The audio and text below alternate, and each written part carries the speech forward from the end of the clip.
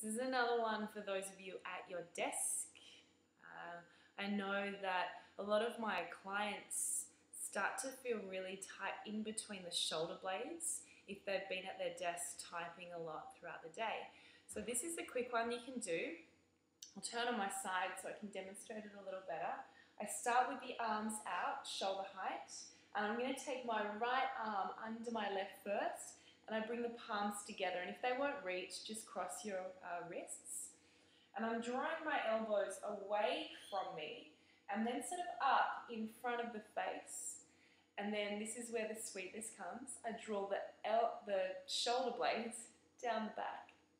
And that's when you get that really st- sweet stretch in between the shoulder blades.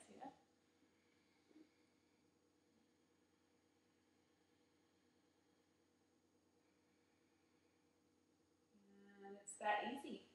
And you take the other side. So give it a go and see if that helps. I hope it does.